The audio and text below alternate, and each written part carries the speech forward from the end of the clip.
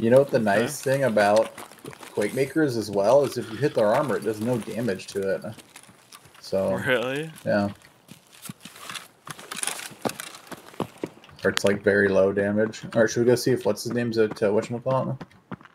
I see a guy. I see a guy. Direction?